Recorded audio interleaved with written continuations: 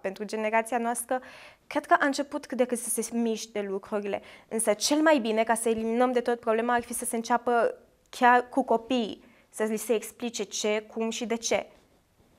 Un copil poate să înțeleagă și dacă îi vorbești frumos. Chiar mult mai bine. Și sunt foarte multe organizații care sprijină drepturile copiilor și cred că cel mai important lucru este că atunci când uh, ne întâlnim cu aceste situații, chiar dacă nu putem face ceva în acel moment, uh, cred că este ok să anunțăm uh, organele care se ocupă cu, cu așa ceva. Probabil discuțiile cu întreg cadrul familiar. Adică să fie sesizată asta, copiii să spună ce, prin ceea ce trebuie, pentru că majoritatea nu spun, iar apoi să se iau, să fie luate câteva măsuri.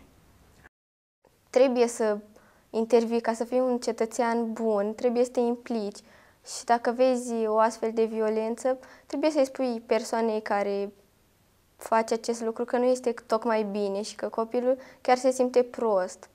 Persoana care este criticată tot timpul va crede că nu e bună la nimic.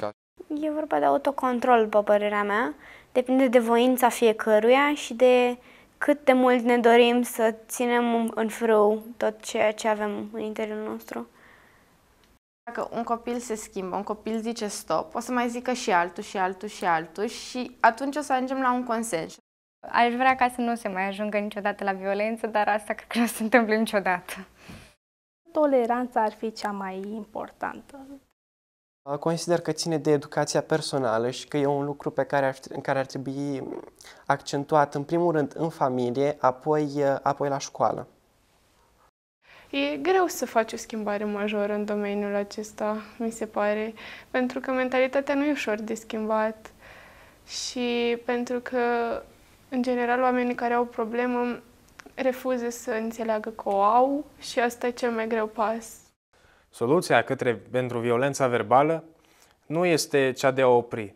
Soluția pentru violența verbală ar fi ca ștergătorul de parbriz. Nu depărtează problema, dar te ajută să mergi mai departe. Așa e și aici.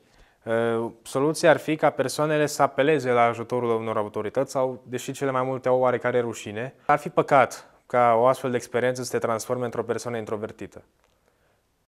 Trebuie să încercăm să comunicăm oarecum de la aceeași distanță, da.